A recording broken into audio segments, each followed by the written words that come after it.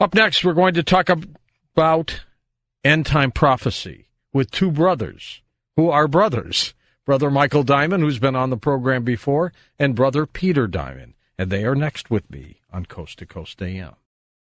And welcome back to Coast to Coast. George Noory with you. We have a fascinating program for you tonight. First of all, let me introduce Brother Michael Dimond. He's been on the program with me before. He's been a traditional Catholic Benedictine monk for more than 24 years, producer of many videos on the Catholic Church, prophecy, other subjects. His website is VaticanCatholic.com. It is the highest ranked traditional Catholic website in the world. His YouTube channel has more than 30 million video views and hits.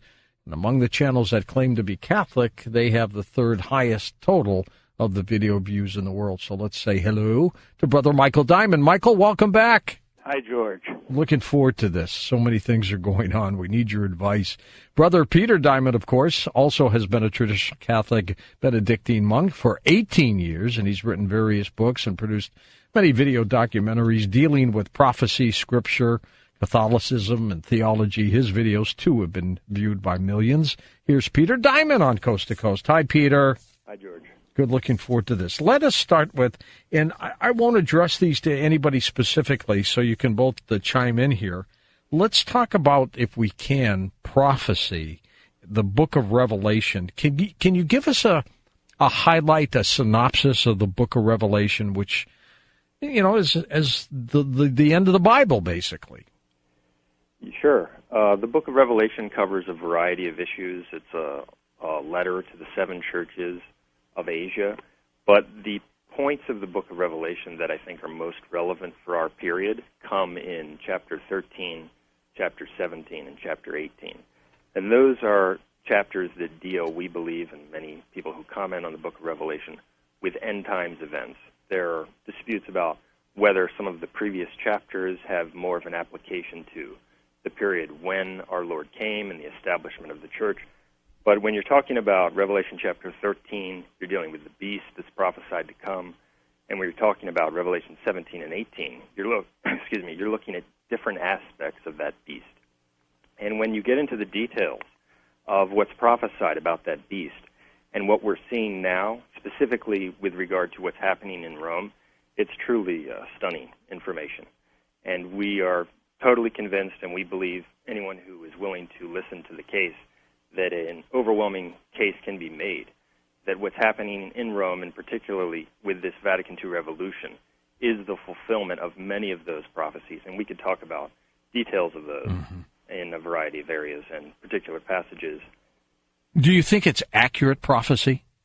Absolutely. And, and one of the points we could discuss concerning Revelation 18.2 and prophecies about Babylon, we believe it's so persuasive and so specific that if a person is open to hearing the truth on this, not only does it prove what we're saying about how the Vatican II Church and what has happened in Rome in the past 50 years is the fulfillment of that prophecy, but it also proves the inspiration of Scripture.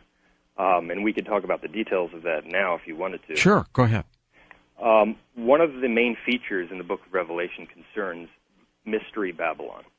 And, and it comes in Revelation chapter 17 where St. John describes this massive harlot of Babylon. Now, the image of a harlot is right away giving us an indication that this is a counter church, mm-hmm. because the church in Scripture and Catholic teaching is known as the bride of Christ. And, and many verses and Catholic teachings could be cited on that point. And so when you're dealing with this harlot, you're dealing with a false ecclesiastical structure. And even in the Old Testament, when God's people would fall into an, an idolatrous cult or uh, give into heresies of various kinds, they would be called a whore or a harlot. And so, what we're presented with in Revelation 17 is a massive counterfeit ecclesiastical structure that arises in the last days. And on its forehead is the name Babylon. And so, Babylon is intimately connected with the rise of this counter church. And when you look in the New Testament, the only place that Babylon is defined is in 1 Peter 5:13, where St. Peter says that the church that is in Babylon, elected together with you, salutes you. And so he's identifying the location where he was when he wrote that first epistle as the location of Babylon. Now, hi- historically, we know that he wrote that first epistle in Rome. Right. He was martyred in Rome with St. Paul under the reign of Nero from AD 64 to AD 67. And so he wrote First Peter from Rome, and he gave it the code name Babylon, as many scholars would concur and realize and acknowledge. And so that gives us a huge key to identify where these prophecies about Babylon will be fulfilled. Not only will they be fulfilled in Rome, but more specifically, it's incredible, in the exact spot in Rome where St. Peter is. Now, there is a tradition going back to the very early church, and it's well documented and attested, that St. Peter's Basilica, that incredible building. That's gorgeous, yeah. Yeah, it's, it's an amazing structure. That was built over the tomb of the Apostle St. Peter. Uh-huh. There's a high altar there um, marking the spot. And so there's an apostolic tradition going right back to the very headquarters of the church. There's this connection. And it's actually fitting because in Matthew 16, we read that Christ founded the church upon St. Peter. He said, I will give you the keys to the kingdom of heaven. You are a Peter, and upon this rock I will build my church. And so that's the one true church Christ established, outside of which there is no salvation. And he built it upon Peter, but it also was fitting that the most prominent physical structure in that church would also be built over his body. And providentially, that's what happened when the Vatican, and St. Peter's Basilica in particular, was constructed on the exact spot of his grave. And this gets amazing because if you apply this definition of Babylon being the place where St. Peter is, that's Babylon. And you look at the prophecies about Babylon. And I always thought Babylon might have been Iraq. I don't know why, but Well, in the Old Testament, the city mentioned in the Old Testament was in Iraq. ah, But okay. New Testament Babylon is is entirely different. It's it has a different meaning and a different application, and it is the place where Saint Peter is. And so when you start to apply this, that well, Babylon's most precise location is where Saint Peter is. It's in the Vatican, and then you look at what's prophesied to happen at that spot at the end of the world. It matches up to a T to what we're seeing in this Vatican II revolution. And uh, we could get into, for instance, Revelation 18:2, which prophesied that, that Babylon would fall, fall, and become the prison of every unclean bird and the prison of every unclean and hated beast. Why did they talk, Michael and Peter, in, in parables like this, where it wasn't cut and dry, but we have to interpret what these mean?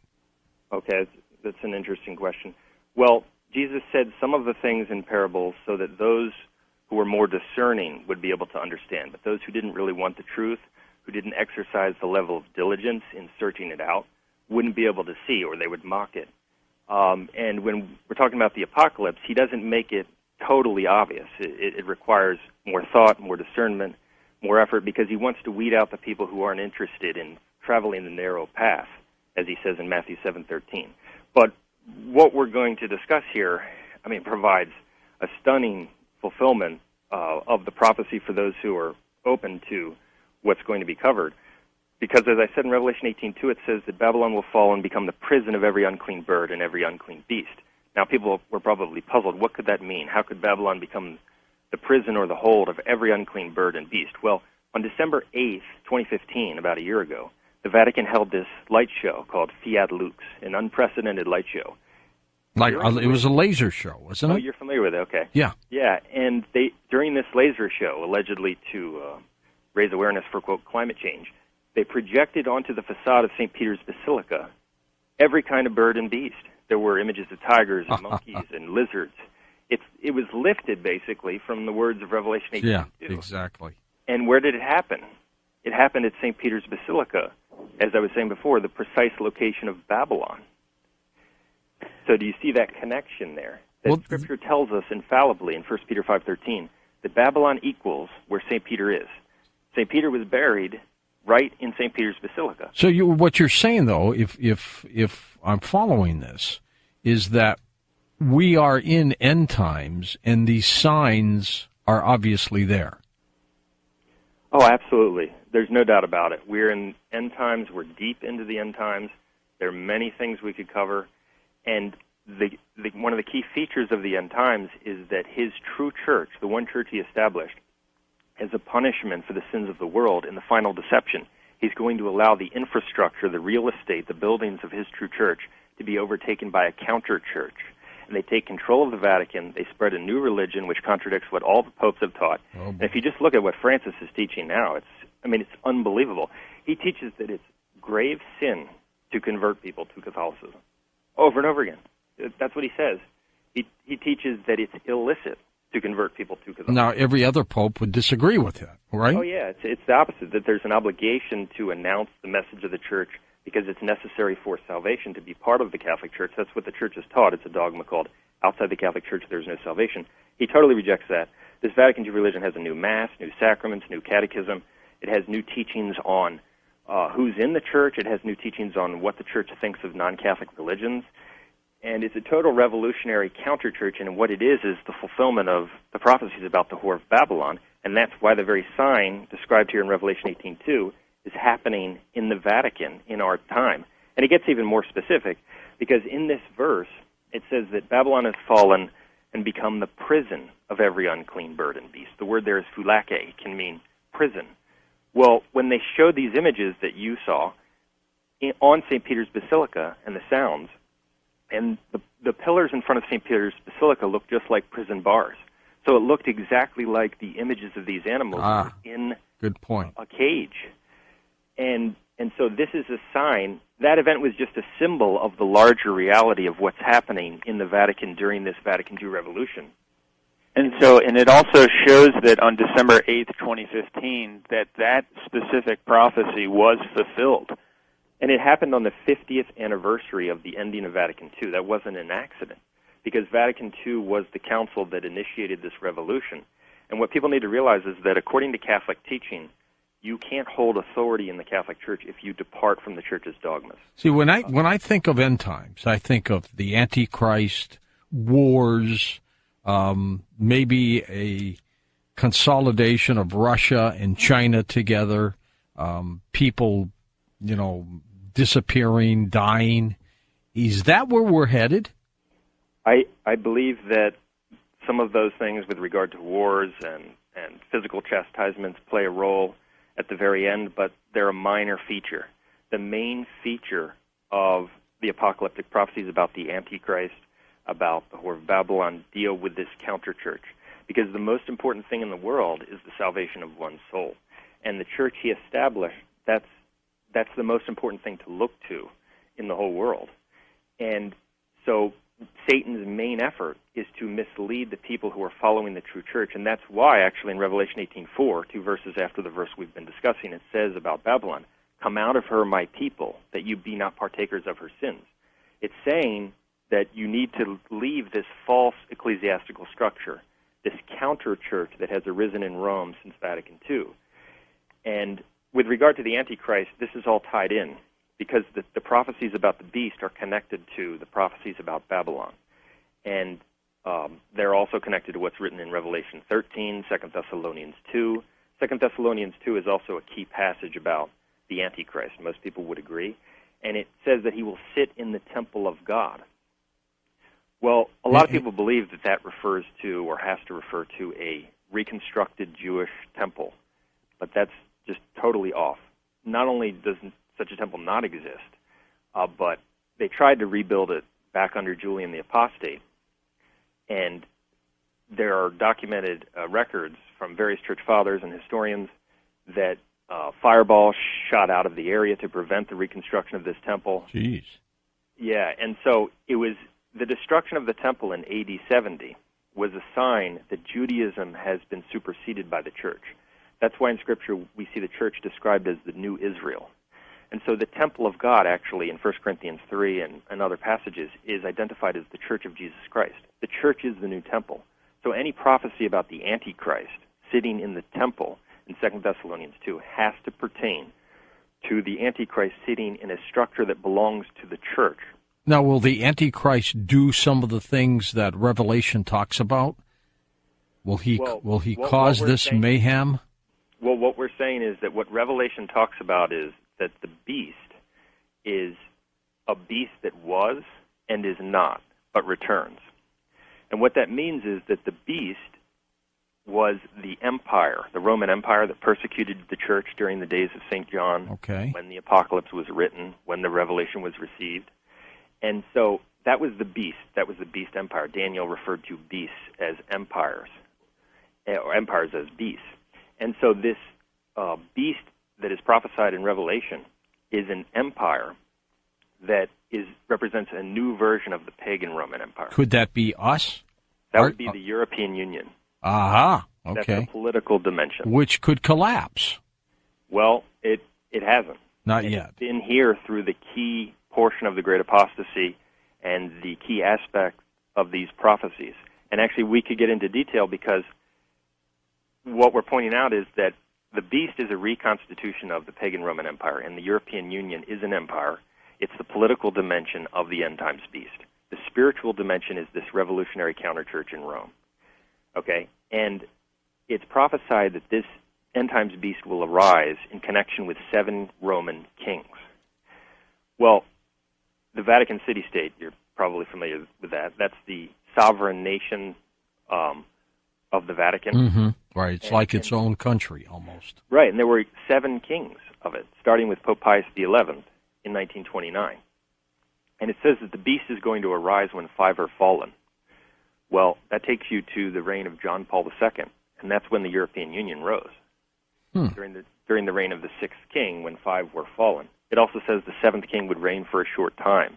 Benedict XVI resigned on February 11, 2013, after a short reign compared to John Paul II. And when he resigned, lightning struck the top of St. Peter's Basilica. I don't know if you. Uh, I, yeah, we saw that. I think it's on YouTube, isn't it?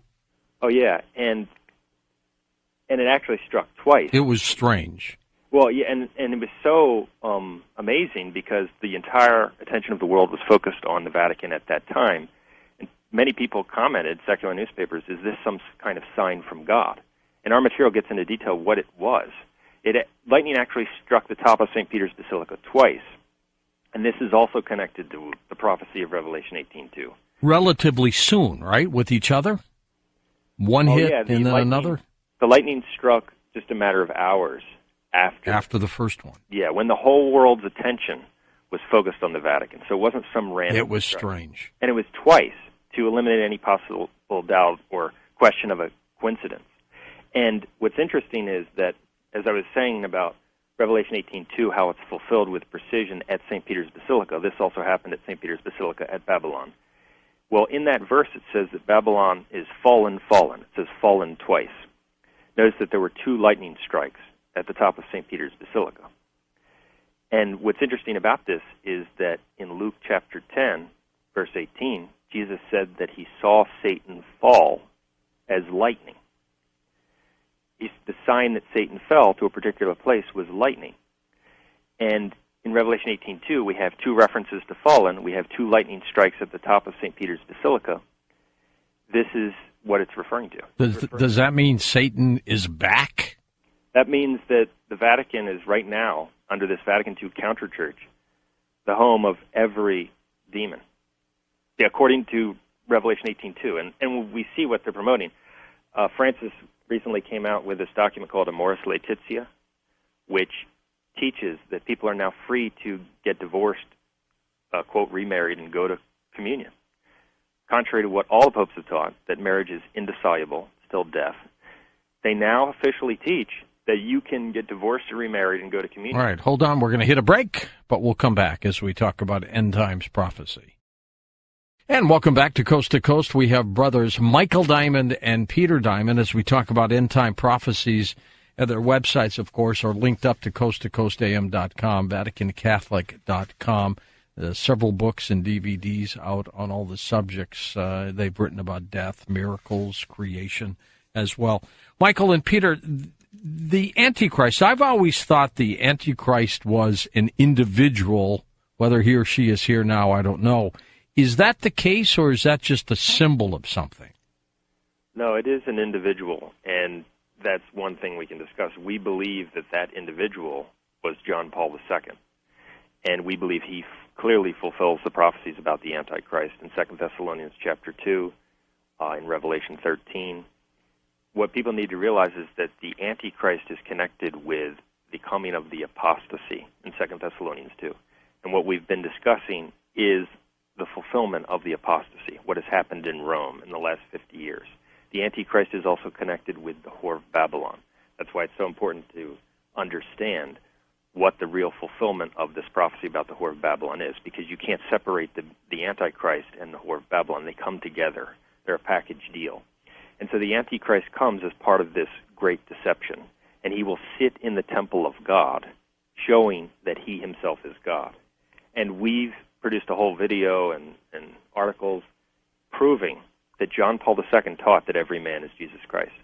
He taught that every man is God. He taught that the Son of God in his incarnation didn't just assume human nature, but he became everyone. He taught this over and over again in encyclical speeches, so that everyone is the God man. And this was, according to Pope St. Pius X, the distinguishing mark of Antichrist. And so he did this while hmm. sitting in the temple of God. And what people miss is that a big part of the prophecies about the Antichrist, and one that is explicitly mentioned in Revelation 13, is that his image is going to be venerated. Okay? He's going to be wounded. He's going to sit in the temple of God. He's going to proclaim that everyone is God. He's, and then he's going to have his image venerated. Well, we saw the quote canonization of John Paul II in 2014 which was the fulfillment of this prophecy. The veneration of a guy who taught that everyone is God, who, who taught that you shouldn't convert Protestants, who taught that um, all the false religions of the world are inspired by the Holy Spirit, who held this Assisi prayer event, which invited all the practitioners of the various false religions together to worship their false gods. And this is and was, in fact, a detailed fulfillment of what's also written in 2 Thessalonians 2 because that it says that the Antichrist will sit in the temple of God and he will oppose and raise himself above everything that is called God. And an actual alternate translation, a, a more literal translation, one could say of that, is that he will recline across from and raise himself above everything that is called God.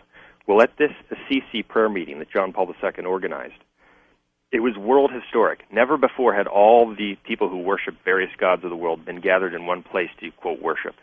He organized it. And this represented a supreme blasphemy because this kind of activity was always condemned by the church. There's one true God. There's one true worship. The, uh, according to the New Testament, 1 Corinthians 10:20, the gods of the heathens are devils, and so they're worshiping devils. So he brought them all together. They all worship their various quote gods, and when he did this, he was elevated on a platform. He raised himself above every so called God. And he was also across from where they were doing this.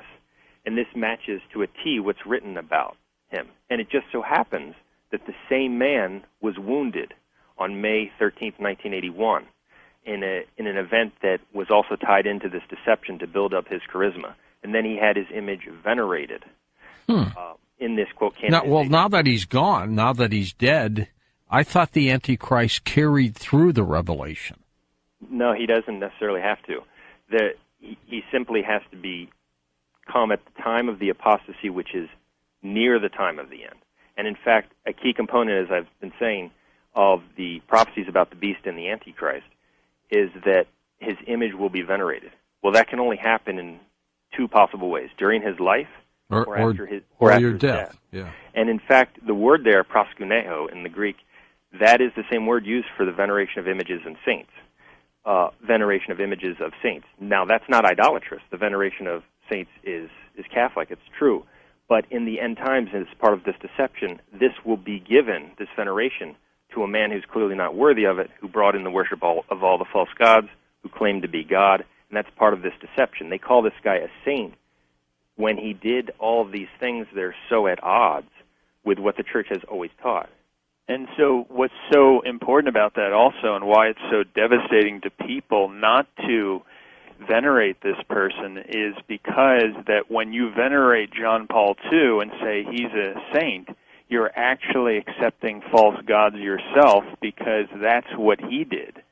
Yes, you're saying that someone can engage in that kind of behavior and be sanctified by it and be blessed by it. And that connects the person who does that with that false worship. See, my impression was he was a great pope. Am, am I wrong? You're you're quite wrong, uh, because you have to measure things by the standard of Christ, His faith, His church, and according to the teaching of the church, to engage in, for instance, the activity that he conducted and organized at Assisi, where he invited all these people to worship their false gods, that's condemned as apostasy by Pope Pius XI in Mortalium Animos. It's always been condemned It's false worship. It's an endorsement of idolatry. He he led the charge for that. And this is also connected to the prophecies about the beast returning, because one of the things that um, happened in the pagan Roman Empire is that the pagan Roman kings had their image venerated and honored, and it also happened frequently after their deaths. Okay, that's what we see here. We see that not only John Paul II, but Paul VI, John the 23rd, these men who have brought in this spiritual revolution, now, guess what? They're being, quote, canonized. This is the fulfillment of the prophecy about the beast returning in a new form. And the spiritual component of that is what's happening in Rome now. The political component is what's happening with the European Union. This, this empire, this godless empire that doesn't even mention God in its constitution, despite the fact that it has taken over what was Catholic Europe. And so this is the real fulfillment of the prophecies because he's going to sit in the temple of God. There's only one candidate for the temple of God, and that's the Vatican. That's St. Peter's Basilica. No other building could even uh, be, be a possible fulfillment of that. And that's why these prophecies are being fulfilled there. That's why all these revolutionary things have happened in the last 50 years.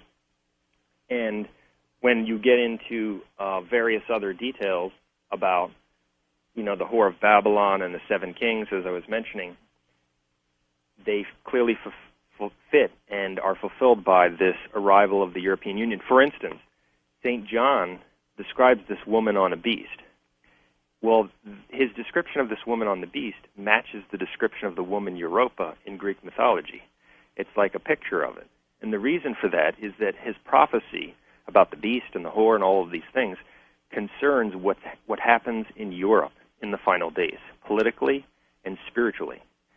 And that's why we've seen with the rise of the European Union and this revolution in the Vatican, the paganization of Europe. It's it's completely godless, basically now. Well, is is there anything that that we as people on this planet need to be concerned about in terms of how this will physically affect any of us? Well, what we would say is that the most important thing is that people need to recognize this information and embrace the true faith, the traditional Catholic faith, uh, which is necessary for salvation. That's the most important thing because saving one's soul is the priority. But these prophecies uh, clearly concern what has happened here. And for instance, it, it also talks about in Revelation 18:3 how all the world is drunk with the wine of her fornication, and it ref- refers to wine numerous times. Well, the changes to the Mass involved a key change to the wine portion of the consecration after Vatican II. They changed the form of words for the wine. And that clearly invalidated the sacrament because it represented a massive alteration of the form that Jesus Christ delivered, that the church had always used. And that's what it's referring to when it says the wine of her fornication. It says that this whore is clothed in purple and scarlet. Bishops wear purple, cardinals wear scarlet. She's clothed in the colors of the church. Church. The, the whore is not the Catholic Church. It's this end times counter church, and this structure uh, that has arisen when this counter church has taken control of the church's buildings, and and that's why we see Francis doing the unbelievable things that he is doing. I mean, people have to ask themselves, what in the world is happening when he's saying to an atheist who's interviewing him, he won't even convert him, doesn't even want to convert him. I mean, this guy claims to be a Catholic pope. It's it's absurd. All right, but where does the apocalypse come in? What I've been discussing about the fulfillment of the prophecies about the whore of Babylon, we're living through it. It's it, it's referring to this Vatican. Okay, well this this is what I don't get because every person, uh, Peter and Michael, who have been on this program, they talk about horrendous things that are going to happen during end times. Uh, you know, half the planet gets wiped off, for example. You know, people die. I don't hear that coming from you. I think that in many cases, those interpretations are misplaced because they fail to see that the true nature of what's prophesied is a spiritual one. There will be such things just preceding the very second coming, and there there have been major catastrophes. But the primary uh, message and the primary aspect of the prophecies is one that concerns what's happening to his church and his people. And that's uh, the group that was addressed in the apocalypse. It was addressed to the churches. and it's warning about you know being perverted by idolatry and false worship and heresy. Well, now let's talk about the second coming for a second. Um, my interpretation is is that uh, uh, Jesus is supposed to come back again. Is that? Do you see that? Absolutely. That's that's taught in Scripture. It's a dogma of the church. He he will come back again, and these are the signs that will precede his second coming. But there are passages that indicate that he'll come as a thief in the night, and so it's not going to be necessarily as people expect. It will be as in the days of Noah. He says in Luke 18:8, "Well, when the Son of Man returns, will he find any faith?" And so there will be signs, and it, the things we've discussed are clear signs uh, of what's happening. And there there are many others we could we could get into, but they're only going to be obvious many of these things to people who are more discerning, who who are looking with the eyes of faith, who care about what's most important. Otherwise, it's it's they're not going to recognize the significance because they don't understand the significance of uh, what Christ has left in his deposit in general. What about the rapture, where people just disappear? Is that going to happen? No, that refers to what happens when Christ comes. Um, First Thessalonians refers to it when he comes again. The elect who are alive will be wrapped up with him at the event of the second coming. It does not refer to an event that's going to precede um, a period of tribulation, etc. That's a misunderstanding of the text, and really, there's no biblical evidence for that at all. When he returns, will it be obvious? Oh yeah, every eye shall see him, even those who pierced him. Revelation one seven says, and by the time he's back on earth, everyone who has ever lived, okay, everyone good or bad, will be raised. When the trumpet sounds, okay, the dead in Christ will rise, and then the uh, the reprobate will rise as well. And so by the time he he arrives back on earth, everyone who has ever lived is back. And so no, no one will miss that. But he's given us indications, and they're prophetic indications of what's going to happen.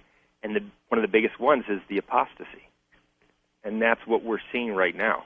This is the apostasy. And if people can't see that when they look at the evidence of what's happening in Rome, I don't I I don't know what it would take to convince them. I mean, will uh, will Rome collapse? The prophecies indicate that Babylon will be destroyed, thrown down. And what's very interesting about that is that the description of how Babylon is going to be destroyed match the descriptions of how the temples were destroyed. The same word is used, uh, desolation, desolate. And that's because Babylon in the apocalyptic period is the location of the end times temple. As we've been discussing, St. Peter's Basilica is where Babylon is. That's where we have this incredible building, uh, which is the temple of God. Pope Pius XI even officially called St. Peter's Basilica the temple in 1929. And the destruction of Babylon, as it's recorded in Apocalypse 18, matches the description Jesus gives in Matthew 23:38 of how um, Jerusalem is being left desolate. And we know that Jerusalem was destroyed by the Romans, the temple was thrown down. And so there's a parallel between the descriptions in Scripture of the destruction of Babylon and the destruction of the Old Testament temples because Babylon is where the end times temple is. It's exactly what we've been discussing.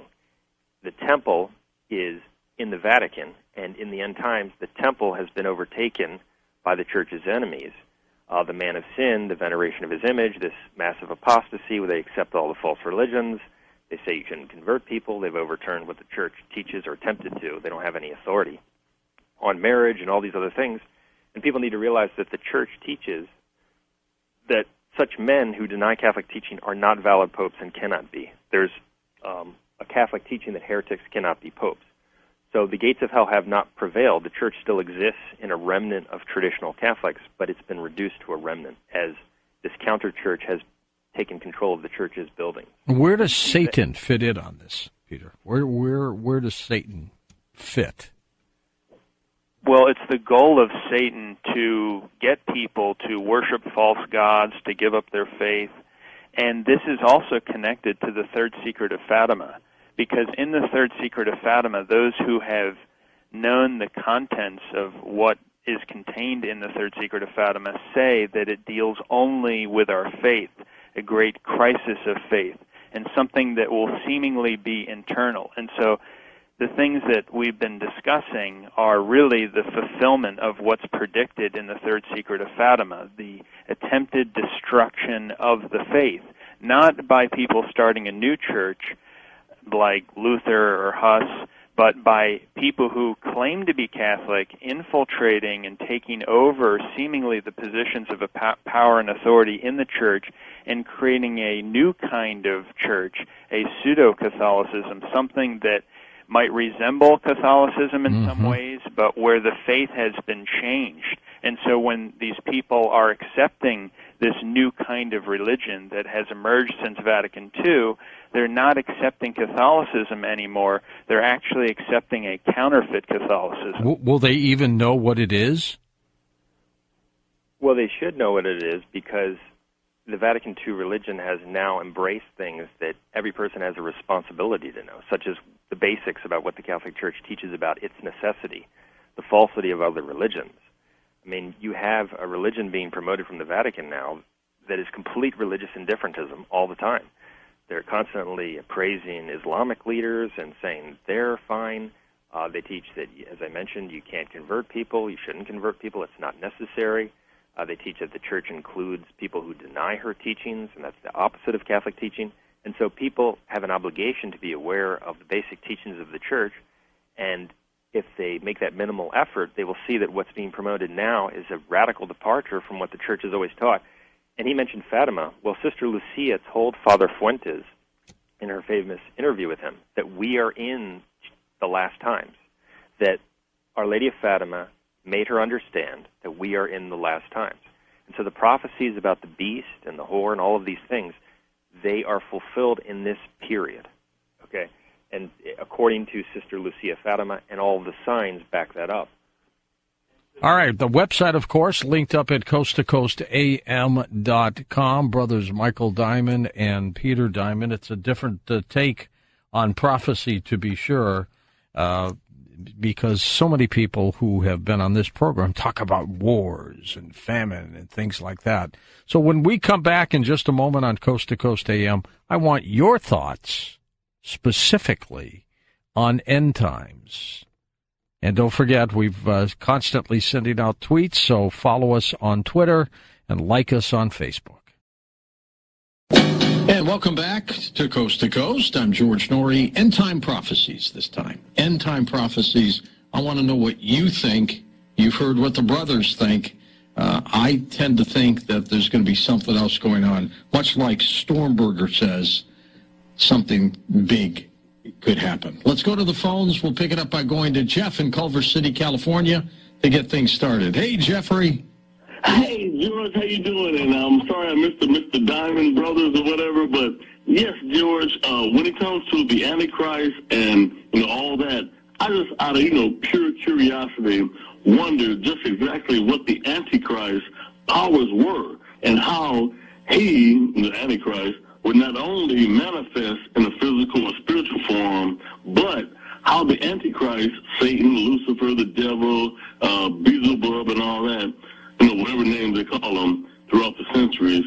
I'm just curious as to how the Antichrist can give power to his minions and have them do his horrendous and devastating and horrific works. You know, now in 2017, you know, our time, 2017. Do you think the Antichrist is here, Jeff? Yes, yes, uh, I believe it, George. But, you know, George, since nothing you know, has, you know, been really manifested so far. You know, Satan and his work, you know, has, has been catastrophically uh, devastating in the world and still continues to this day. You know, and I'm not talking about all the evil that has occurred in the last centuries, but I'm talking about now. You know, but my question is this, George: Do you think that even if there is no actual physical manifestation of a Jesus or or another awaited savior or reincarnation of uh, any other spiritual deity, whatever people believe, do you think, George, that people would just say, okay, enough is enough with this and just stop and just, just you know, just say, well, let me just live my life and then just die and go on. You know, I, which I wanna hear your which which could happen. What do you think of the? Did you hear me with the Stormberger prophecies? What did you think of those? I, I I believe the Stormberger prophecies have a lot of um uh what do you call it validation. Validation, credence. Yeah, it's very yes, very real. I, I believe it, George. Well, he talks about a third world war, and that's scary. And when you get that impression about all the things that are happening on this planet right now, man, anything anything could happen. Kevin in Boston, Massachusetts. Hey, Kev, welcome to the show. Hey, George, how are you? I'm good, Kevin. Thank you. Hope you are too. Oh, wonderful. Now I'm talking to you again. Always a pleasure. Uh, thank you. Thank you. Uh, so, what do you think? Author of, author of the Revelations. I, uh, if you're going to speak Revelations, you might want to talk about the author, and I didn't hear that. Uh, they claim it's John uh, from the island of Patmos, but he's a very mysterious individual, and I was curious as to whether or not within the realm of all of the people who talk about prophecy, which heard on your show, um, what what do you take from uh, the author of this um, particular work? Well, he was he was given the information, right? This is what everyone claims in terms of all of the books of the Bible that, uh, that it's not just an individual, but it's been, you know, passed through as an agent and written down. Um, but we don't know very much about him, and a lot of people confuse him with, um, you know, John the Apostle. Well, I got to tell you, what if it's possible that uh, it was something entirely different? What if it was a reincarnated Jesus or something that did that? Well, it's interesting you mentioned that because I was thinking that if we have this Antichrist problem of identity, that perhaps maybe the Antichrist is um, is a reincarnation uh, individual. That could be too. That could be too. End time prophecies. In the time we have remaining here on Coast to Coast, Brenda's with us in uh, Notre Dame, Indiana. Hey, Brenda, welcome to the show. Hi, George. Thank you for taking my call. You're a blessing. You too. Thank you. You, uh, the two knuckleheads you had on last hour were blaspheming God left and right, and you were calling it, and they weren't even, they didn't even address what you were saying. First of all, the rock that that is talked about in the Bible is the rock of Jesus Christ. It is not the Catholic Church. He built this. He he built the church on himself. He is the Son of God. Second of all, there will be a temple built in Israel. They didn't even discuss that. The the Antichrist will uh, perform the abomination of desolation in the temple that is being about to be rebuilt, even as we speak. They are already getting things ready for that temple. Third of all, you were asking them about the Antichrist. He is a real person. I believe he's on the planet right now. I don't think it was the Pope. No, the Pope is the false prophet. They were right about this this Pope. He's he's demonic. Lots of bad things going on there. The, the current Pope, you think? Cur- Current Pope, yes, he is he's evil. He will be the right hand man of the Antichrist. Oh, boy. There is a rapture. It is in 1 Thessalonians 4:16. For the Lord himself will descend from heaven with a shout. He will take his real church, which is not the Catholic Church, but the real ch- church of God, of Jesus Christ, out. They will leave. There will be an, a battle of Armageddon. You were right on that.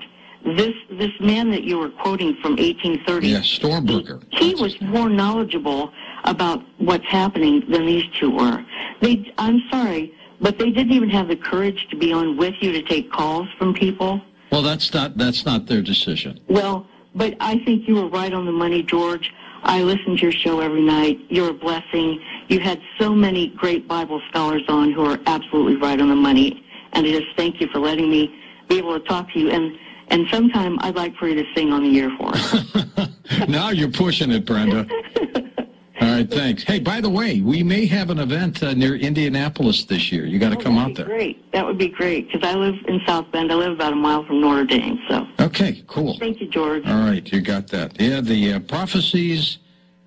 Oh, And look, and that's why we do this. I want you to call in. These are open lines, but on prophecies. I don't want to talk about much. We do that Friday night on Full Moon Friday, by the way. But I want you to address this, well, things that you've heard, things that you think. And, and I have been, since John Hogue, the expert on Nostradamus, told me about Stormberger, uh, I've been obsessed with his prophecies because here's a guy in the 1800s who talked about man will fly through the air like birds, cars without horses. Come on. What a visionary. But then when he starts talking about World War III, that scares the bejesus out of me.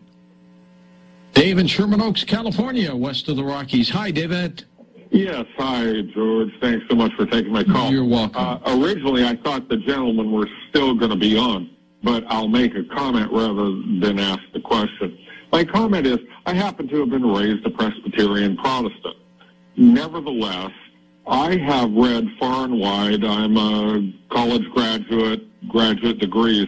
I've wondered why the Catholic Church in Rome is deemed the Antichrist Church. When you look at it, isn't it true that it's very possible that Iraq, Babylon, as you suggested to one of the guests, is actually the focal point of that? Why are we all looking at Europe? Why are we all looking at the Roman Catholic Church. I do agree that, yes, there was a revolution. Luther came along, fought the Catholic Church, Protestantism developed. But, question, why is that the focal point? There's a lot of cities on Seven Hills. So the gentleman on, I'm thinking they're totally over focused, a little bit too narrow focused. And I'm wondering what you think about it. And, and what do you think? And what do you think of Iran, by the way, in this mix? Oh, wow. That's a toughie. I have the wild card. I, I do have a couple of thoughts. Here's one or two thoughts. Iran has been an incredible civilization over hundreds of years. The people of Iran are great people. The current, you know, political control in Iran since since 1979, give or take, is is wrong. And I'm not sure Trump should be opposing them to the degree he is, but Iran, Syria, Russia all play in end time prophecies. I've read extensively. I grant you that it's a difficult situation. Is Israel totally right in the Middle East? Not certain, but I know Iran is to be feared, and we need to we need to be careful with Iran. That that's for a fact. Yeah, I, I, I, agree with that wholeheartedly. Tom, you've got a text for us. What do you have back there? We do. We have a text in from Terrence in Idaho. George, tell me what you think. There are many problems in this world. Why is it that whenever something bad happens in the news, people cry that it's end times? Every civilization has thought that they were in end times. Mm-hmm and not just ours. Every past civilization as well. All the ones in the past, they were wrong. Yes, they were. Will we be wrong? Who knows? I don't know. Let's hope. All, all I know is when you look at people that were prophetic, like a cow herder from the 1830s, who predicted these things that have happened, and then he makes predictions, don't you have to assume that they're going to be right? Hmm, not always. Well, if you predicted things that happened, and you know, and then they did, and then you predicted more, people would tend to believe you, wouldn't they? Yeah, but well, if you're really, really consistent, he seems to be. I mean, these things were said back in the 1830s. Well, look at Edgar Cayce. Well, he was pretty he good too. Stuff, yeah. All right, let's go back to the phones. Blair in Sedona, Arizona. Hello, good friend. How are you? Hi, George. Well, I happened to see Pope John Paul II in 1982 at St. Peter's Square. A week before Christmas, he spoke in seven languages. Amazing. That was yeah. Yeah, a highlight of my life. I wanted to bring up an idea that the Antichrist is not a person, it's a principle. And it's been allowed to influence many people who have lived on earth as sort of um, well, as John, uh, the first epistle, John, he says many antichrists have come. If people study the Bible, he says that, and he also says if you deny that Jesus Christ has come in the flesh and is not of God, then this is the spirit of the Antichrist, which is coming and is now already on the world, already on the world. That was 2,000 years ago, George. So, like Attila the Hun, Hitler are obvious. I sort of think that the Antichrist is a principle that overshadows certain individuals from time to time as we live on this planet Earth. What do you think about that? I think that's pretty spot on. Uh, and the, the most important thing of all of this is where do you think we're headed? When when you look at prophecy from someone like this Stormberger guy, I keep bringing him up, but I mean it's uncanny. He's talking about a third world war. Do you think that's possible? Sure. I mean, he's similar to the uh, Bear Clan prophecy of the Hopi that we talk about here in Arizona a lot. The eight or nine prophecies of eight of nine have already come true. They talked about when um, oh, uh, spider webs would crisscross the land. That was telegraph and telephone lines. You know, the the thunder that comes out. That That's was right. the uh, killing people, the guns, and the uh, the rivers of stones, interstate highways, and stuff. So I think all kinds of spiritual people, not religious, but spiritual people, all down through the ages, come up with stuff like this. And Stormberger was tuned in. And they all come up with the same conclusion. That's the other part. They all see this major calamity, this major conflict, that maybe it is in our time. I I'm going to have to do some mathematical arithmetic here, where he talks about uh, from the 1830s. This is this is what he said. Somebody figure this out for me and send me an email.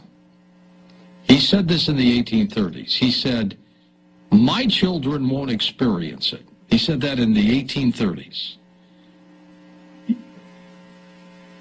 You, my grandchildren, won't experience it. Okay, so his kids' kids. But the third stock may easily experience it. So what does that mean? Add it together. Is that uh, is that going to be us? Where's that time period? If somebody lives 80 years, what does that do? So his children, let's say, are born, and let's let's give it 70 years. That's 1900 then, 1830 to 1900, and then their kids live an overlap of let's say another 50 years. That's 1950, and then uh, the next group. And he says also the next group. Oh man, we're right in it, aren't we? We're going to come back with more open lines in a moment on Coast to Coast AM. And welcome back to Coast to Coast. George Noory with you as we talk about end times prophecies, getting your thoughts on that. Where are we there? Let's go back to the phones.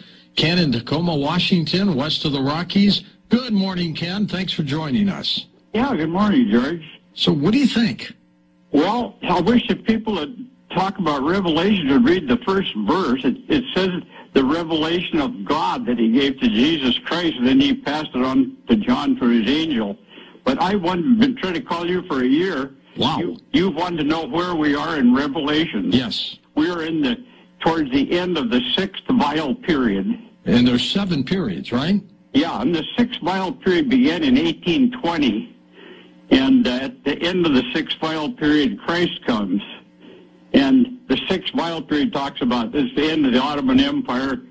God operates on the Jubilee period of the, of the Jews.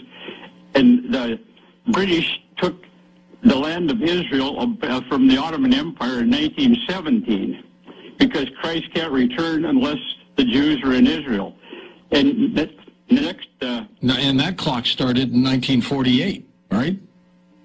well, well, it started when they when they got the land there, then the Jews moved back. But then in 1967 was another the next Jubilee year. They took the old Jerusalem, Right. There was that uh, th- that war. and that's the end of the time of the Gentiles. Well, this is a Jubilee year, and I have an idea of what's going to happen this year. Just Well, tell me, tell me. Well, on the Ezekiel 38, where they talk about the invader from the north comes down on Israel to uh, people gathered from the nations dwelling on the mountains of Israel.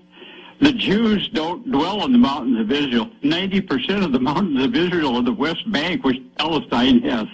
So I think this year the Jews are going to annex the West Bank, and that's going to raise all kinds of problems. All right, we'll we'll look into that to be sure.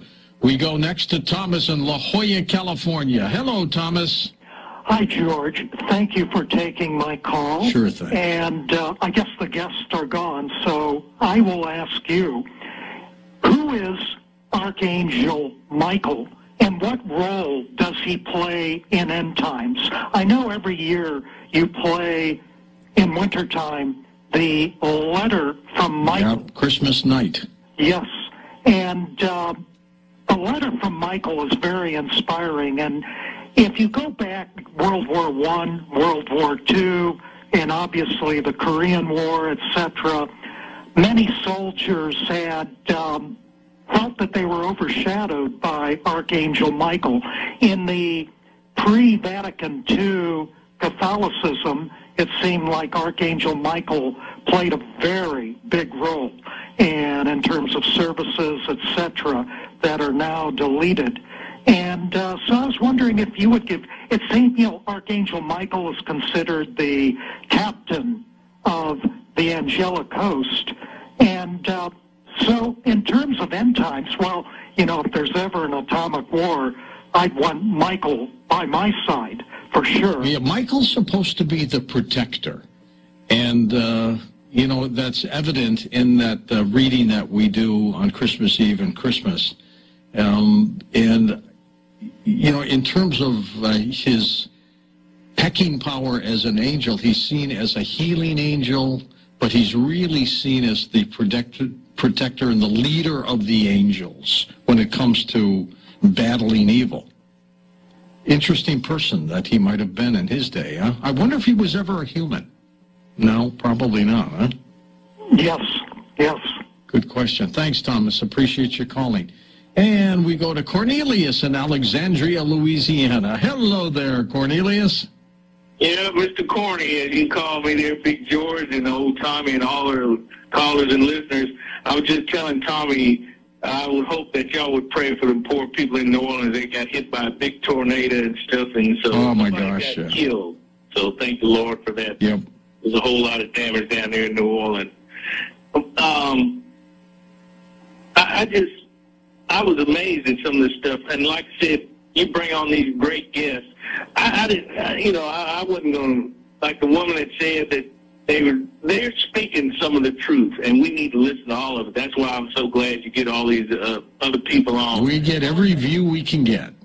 It, the only thing I didn't like was this: they didn't ask, answer anything about which they weren't asked. But maybe next time you bring them on, you can ask them about the mark of the beast and stuff, and what will happen with that.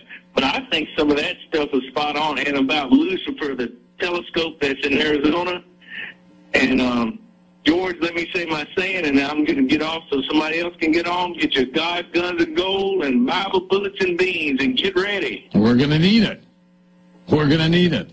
We've got Ken in the Highlands out there in Texas. Hey, Ken, good morning. Hi, how are you, George? Okay, thank you. First time caller. Good to have you with us. So, what uh, what do you think about end times? Well, it's uh, it's an interesting program. I d- I didn't hear all of it. I just tuned in real late. All right. Well, it's but, good to uh, have you. I've studied Bible prophecy for over 40 years, George. Wow.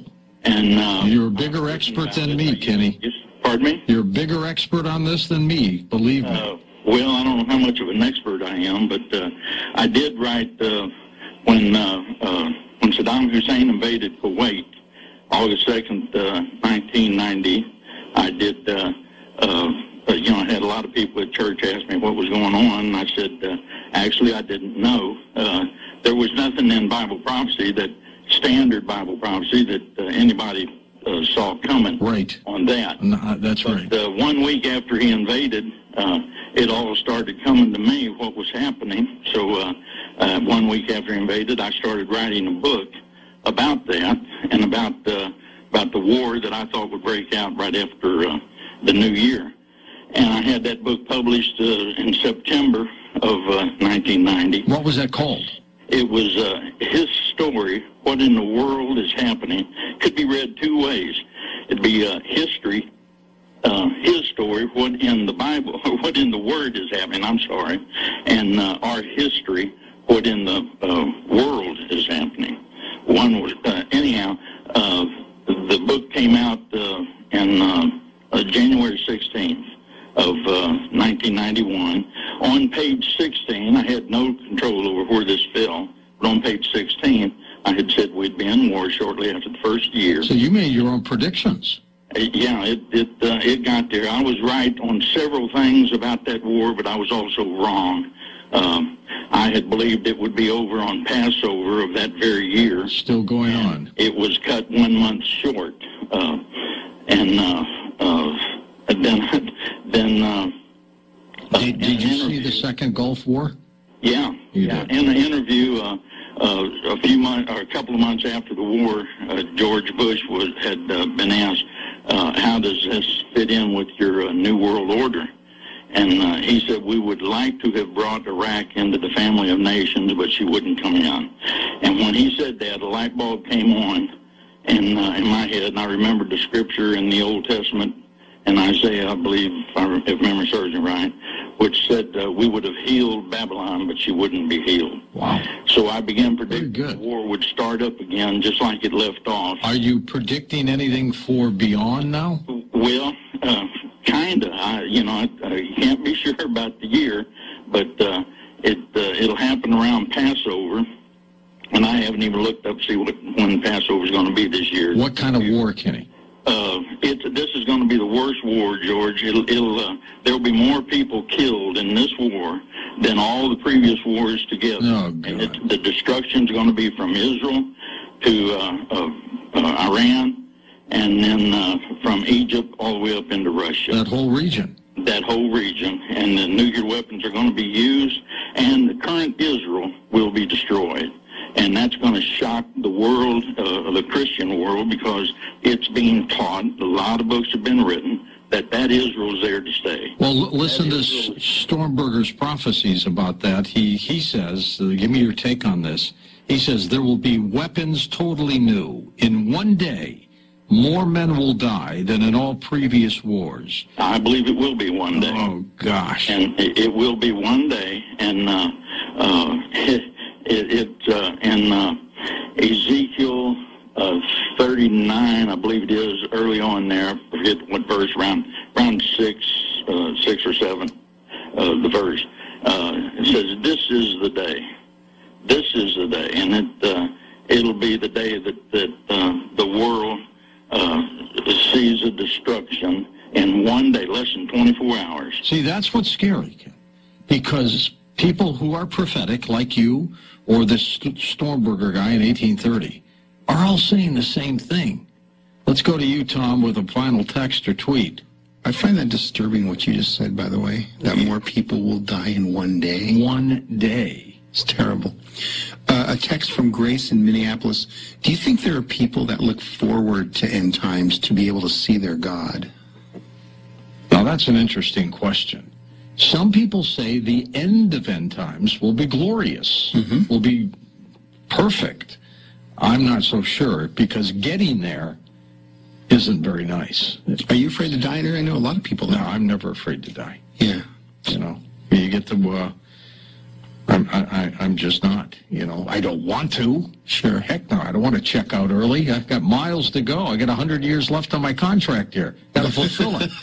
But if somebody tells you it's glorious, then maybe you're not so scared. I'm not. Uh, look, I don't care about how many virgins are waiting for me at the end of the rainbow. didn't say that. You know what? That's to me. Look, living is meant to live the best w- way you can. I'm choking. Keep talking. Keep talking.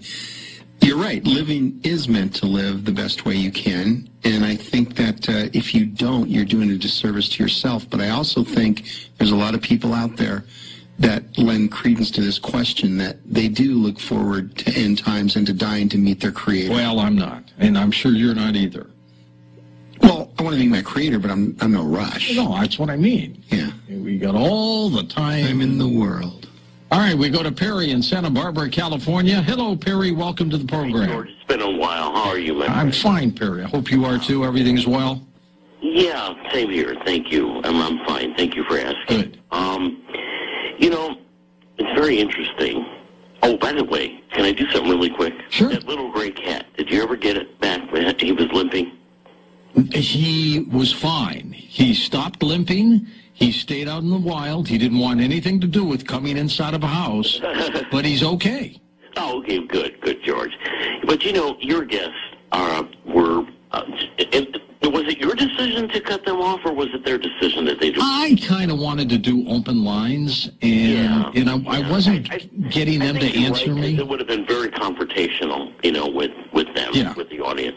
Well, you know, I'm Polish and I'm Catholic. Okay, I went through um, St. John the Baptist Catholic Church in in Whiting, Indiana, and I went to Bishop Noll Institute. I don't know if you ever heard of that. It was in Hammond, Indiana. Oh yeah, yeah, absolutely. Oh, yeah, prestigious. Uh, Very great. Prestigious school. Yeah. You know, I am really upset personally because I'm Polish. The way he talked, they talked about uh, Pope John Paul II. All, all George, what they, what Pope John Paul II meant is that we are brothers and sisters in Christ. We have God in us. Well, it, I, I've got to say, I don't think the Pope was is or was the Antichrist. No. No. He, um, all he meant was uh, that, uh, yeah, we're right. We're all brothers and sisters in, in Christ, and, and uh, we're, we're his children, so God is within our own hearts. You got that right. Yeah. And uh, just the way he attacked the Catholic religion. Listen, if it wasn't for Vatican II, George, uh, the Catholic Church would really not have much of an influence nowadays. It was an attempt to modernize. And when I started school, uh, you know, Catholic uh, grade school and all that, um, yeah, it was starting, you know, Vatican II, you know. Well, you know, and the, and the point is about divorce, for example, if you're Mm-hmm. Catholic and it, look, if marriages don't work, staying in it is worse. Yeah, because you'll destroy each other. You know, I Yeah. mean, my grandmother uh, was divorced from my grandfather. My, you know, and uh, she was actually accepted back. You know, and so it's just, you know, just the Vatican II, George, was basically uh, it's just a, a more of, of a humane, uh, more more sensitive church, and and not the. Uh, the, the horror or, or whatever else your your people said there. Exactly. I mean, your guests said. Okay, thanks, Perry. Good to have you. Good to have you on the show. Uh, do we have time for another call? No, we are coming quickly to the end. Wow, what a fast hour this was. But uh, somebody email me and predict out tho- those dates from Stormberger talking about World War III and when he thinks that was going to happen, based on him uh, talking about his children, his grandchildren, and then the next generation after that. It's kind of uh, kind of uncanny, isn't it? And don't forget, of course, if you haven't signed up for the free Coast newsletter, you can do that at our website. And uh, spend some time at the website every day if you can, whether at work or, or wherever you might be. Just look at it and uh, take a look at it and uh, look at all the different things that are out there. We're going to do this again for you tomorrow, too. For Dan Galante, Tom Danheiser, Lisa Lyon, Lex Lonehood, Sean Ladesseur, Stephanie Smith, Chris Borleson, George Knapp. I'm George Noory, somewhere out there on Coast to Coast AM. We'll see you on our next edition. Until then, peace.